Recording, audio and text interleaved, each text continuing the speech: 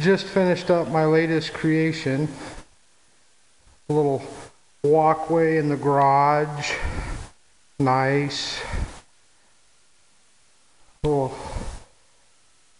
landing for the stairs, little storage unit behind it. That's kept me busy for a couple days. Needs to dry and I'll hit it with some lemon oil and shine her up. Other than that, it's done.